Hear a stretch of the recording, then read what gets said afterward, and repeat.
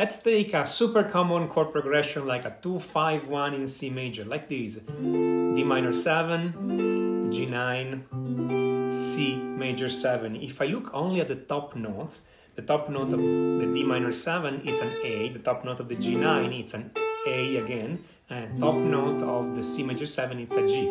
That's okay, but we can do better. What if instead of playing A, A, G, we play A, A flat, G? It would be smoother. So here I'm putting the A on top on the G9. Instead, I'm, I'm putting this A flat on top, and then I'm playing the G in the C major 7.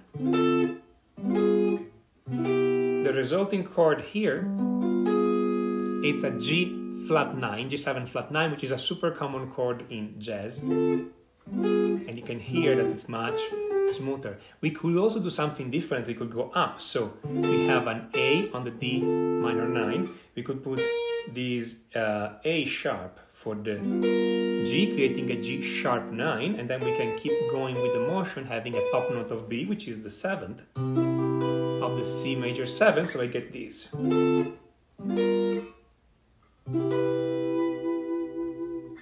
And this is how you spice up your jazz chords.